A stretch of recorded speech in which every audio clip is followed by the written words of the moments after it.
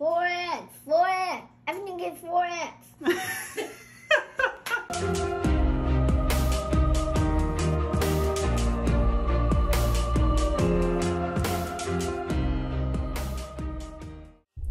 What's going on everybody? As always, it's a blessing to be here.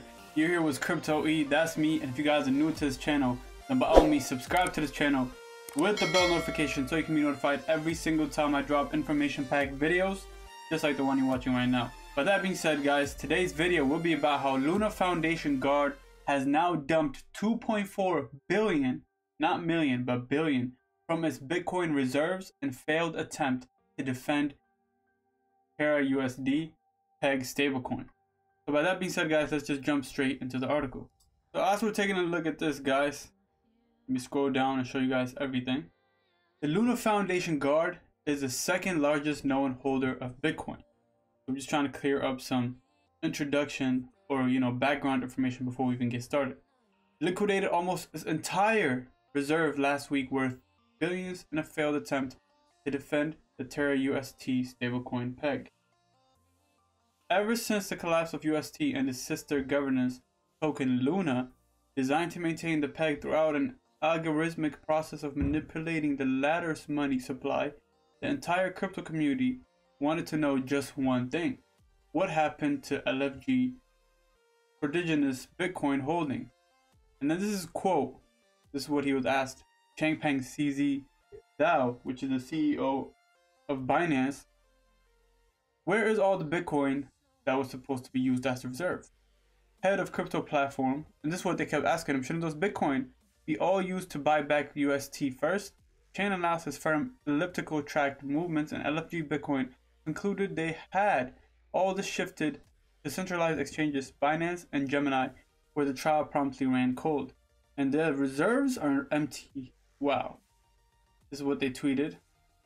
But you guys can just see how crazy it is. And on Monday, the crypto community finally got an answer, which is today, where LFG posted an update of its 91,000 plus followers. Anyways, of the 80,394 Bitcoin, worth 2.4 billion held on May 7th, just prior to Terra losing dollar peg, only 313 are still held in reserve. From 80,000, 313. That's an insane, drastic amount of drop in Bitcoin holding that we have seen. The rest were liquidated between March 8th and March 10th, where Bitcoin traded 31,000 to 35,000. And it's just crazy that we're seeing it just being liquidated extremely fast, but also they're trying to, you know, cover up all the lies of them saying, hey, what's going on with it? Is this something gonna come back up, or is this something that's just gonna be lost forever? Are people will are will people even be insured, or will people be recovering any of that data or any of their money? We still have not received an answer for that, so I'm sure that's gonna be a no.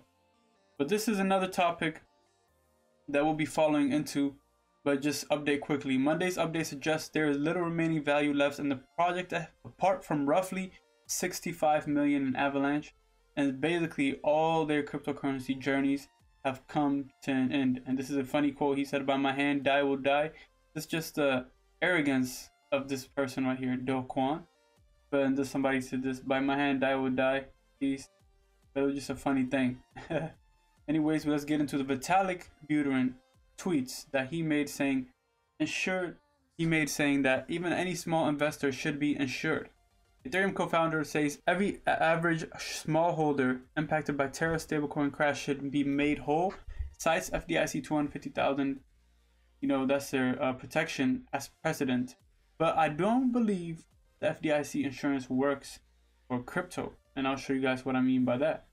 Because cryptocurrency is not legal tender and is not backed by the government, cryptocurrencies including but are not limited to tokens such as Bitcoin, Litecoin, Ethereum, stablecoins, the main thing we have to focus on, and USDC, which is a stablecoin, such as USDC, which is a stablecoin, is not subject to Federal Deposit Insurance Corporation, FDIC, or Securities Investor Protection Corporation protection, which is basically saying that they will not be protected. Nobody will be protected from this drastic drain of supply and everything that has happened with Terra Luna and obviously no one will get their money back. That's the whole FDIC because cryptocurrencies are not considered a legal tender.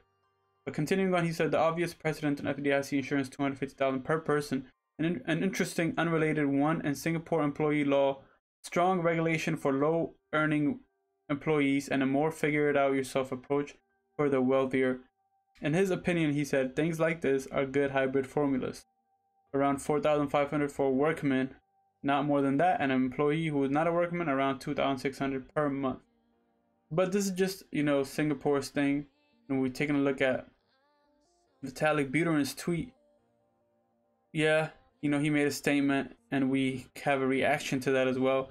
And he's trying to be on the side of the good side as always. That's why I believe he didn't take the power that it came with when it was donated to him. If you guys know what I mean, when it was donated, when when Shiba Inu's 50% supply was donated to him, he did not want that kind of power. That's why he gave it back to the you know donations of to the India COVID Relief Fund, and then burned some and all these things as well. But that being said, guys, I appreciate you guys for tuning into this video. I wanted to quickly touch on this basis and tell you guys what's really going on with Luna and will anybody getting be getting their money back? I believe 99% chance no, not all because cryptocurrencies including stablecoins are not legal tender yet. With no regulations comes no rescues and no heroes. But that being said, I appreciate you guys for tuning into this video. Give it a thumbs up if you enjoyed this video. Subscribe to this channel if you guys are new and I'll see you on the next video. Peace out.